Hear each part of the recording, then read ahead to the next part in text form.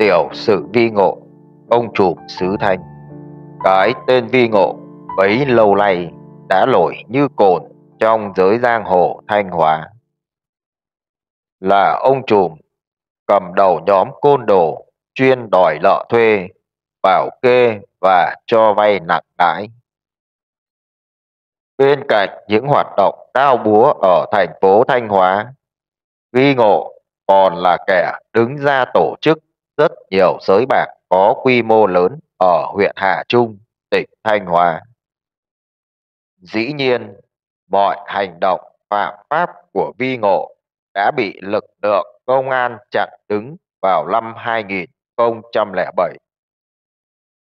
Tuy nhiên, cũng từ đó đến nay, gã giang hồ cộng cán này đã nghĩ ra một vở kịch giả điên nhằm mục đích thoát khỏi những tội danh đã gây ra. Vi Ngộ, tên đầy đủ Nguyễn Văn Vi, sinh năm 1981 ở phố Đào Duy Từ, phường Ba Đình, thành phố Thanh Hóa. Tuy không phải là gã giang hồ đi lên từ chốn bụi đời, nhưng từ nhỏ Vi đã có tiếng là kẻ bập trợn, manh động. Sống ở khu vực Thanh Hóa, Vi Ngộ giao du với rất nhiều đối tượng hư hỏng, tụ tập thành nhóm rồi đi đánh đấm quanh khu vực phường mình sinh sống. Qua tuổi 20, Vi Ngộ đã trở thành đại ca của một nhóm lưu manh chuyên đi đòi lợ thuê. Dĩ nhiên, khi đó những hoạt động của Vi lúc này chỉ nằm trong phạm vi một vài phường của thành phố Thanh Hóa. Chủ yếu hoạt động trong nghề bảo kê các sòng bạc cũng mang lại cho Vi khoản tiền khá lớn để sinh sống cũng như bao bọc đám đàn em. Tuy nhiên, khi đã tích lũy kinh nghiệm cũng như số má trên giang hồ đã có, Vi Ngộ bắt đầu nghĩ đến chuyện sẽ tự mình bỏ sòng bạc để kiếm tiền. Không chọn khu vực thành phố Thanh Hóa vì quá khắc nghiệt, nhiều băng nhóm khét tiếng quy tụ. Vi cùng đám đàn em dạt ra khu vực huyện Hà Trung nối liền tỉnh Linh Bình với Thanh Hóa để cát cứ. Tìm ra mảnh đất mới cùng với việc chống lưng bằng đám đàn em đao búa. Công việc của Vi đã những bước tiến triển vô cùng thuận lợi.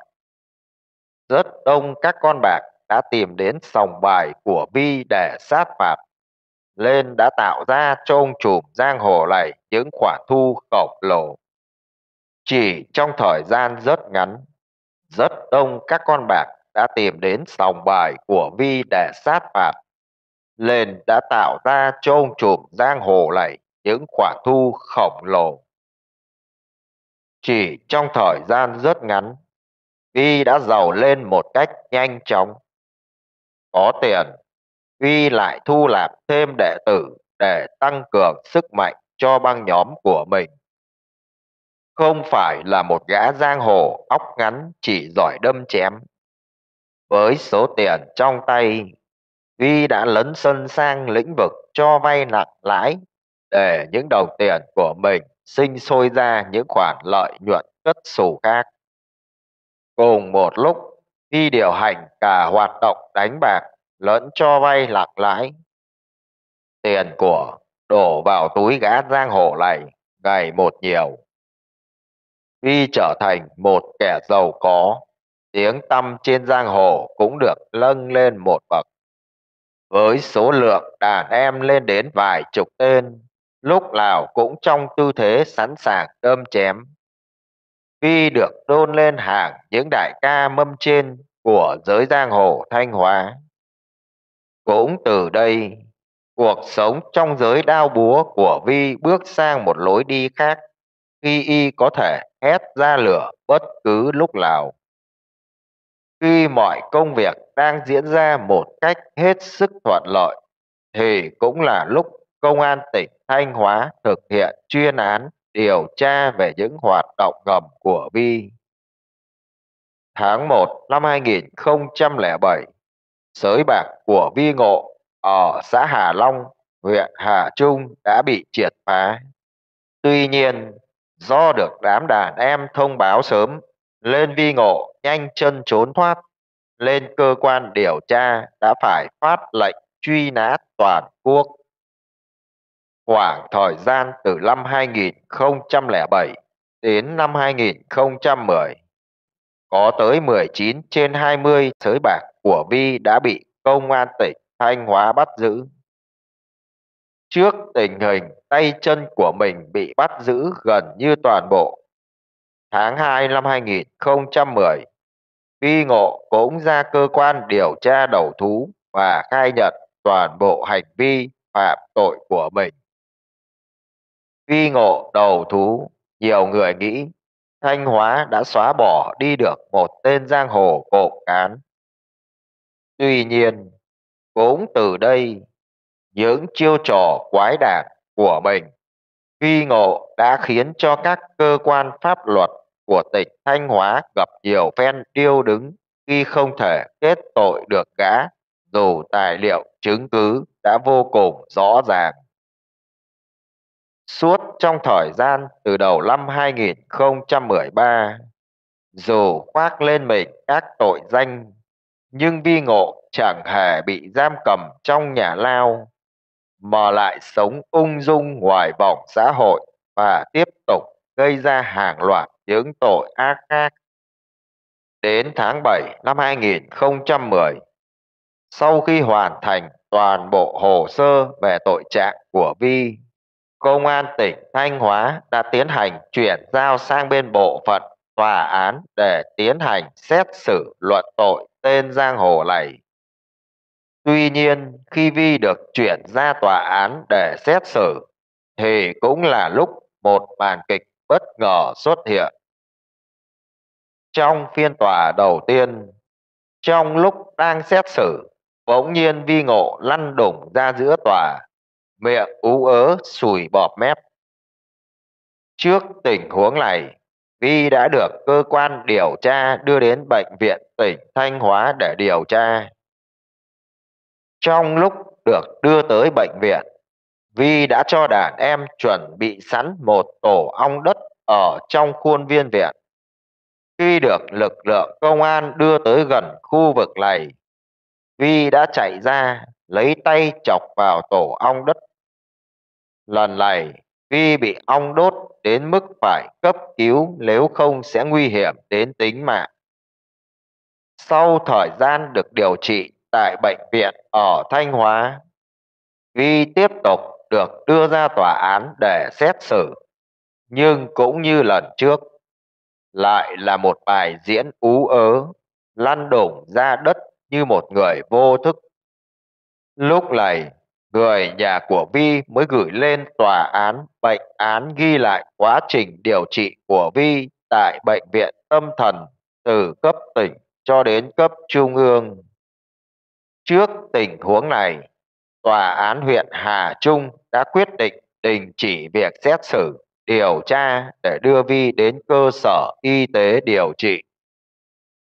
Được đưa lên tận bệnh viện tâm thần trung ương để điều trị. Lúc này nhiều người đã nghĩ Vi có vấn đề về tâm lý thật. Từ năm 2012 đến năm 2013, đây là khoảng thời gian Vi được phép đi chữa bệnh. Tuy nhiên, điều lạ là trong khoảng thời gian này, rất nhiều người dân ở thành phố Thanh Hóa đã nhìn thấy Vi. Thậm chí là chứng kiến tận mắt gã giang hồ này tụ tập cùng đàn em để trở lại hoạt động phạm pháp như trước.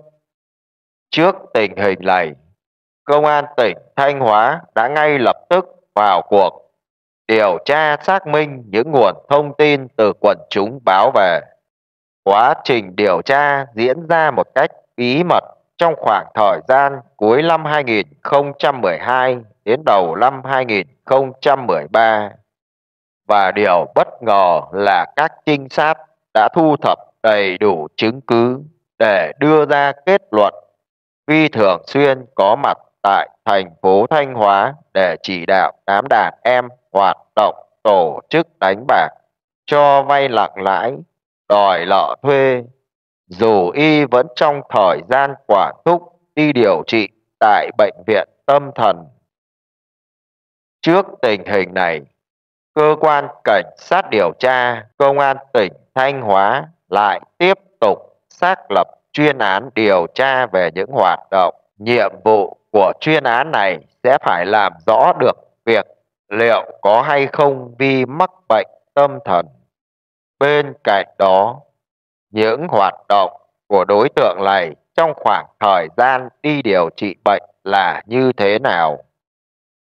Đến ngày mùng 2 tháng 4 năm 2013, Công an Thanh Hóa đã ra quyết định bắt giữ Vi để thực hiện công tác điều tra. Vì có nhiều tài liệu chứng cứ nghi ngờ đối tượng này giả bệnh để trốn tội. Do lắm trước được tình hình, lên công an Thanh Hóa đã cử một đoàn cán bộ khá đông với sự kết hợp của cảnh sát hình sự và cảnh sát cơ động lên bệnh viện tâm thần để bắt giữ Vi. Điều đặc biệt là quá trình thực hiện nhiệm vụ của các chiến sĩ công an đã vấp phải sự cản trở của vài chục người bệnh ở bệnh viện mà hầu hết trong số đó đều có hơi men lồng lặc. Theo một nguồn tin riêng từ phía điều tra, trước đó Vi đã lệnh cho đàn em mua vài chục lít rượu rồi đưa cho từng người bệnh uống, rồi y sẽ nhờ để làm phiền cơ quan công an. Tuy nhiên, trước sự quyết tâm của toàn thể lực lượng, Vi Ngộ cuối cùng vẫn bị khống chế và được áp giải về công an tỉnh Thanh Hóa ngay trong ngày.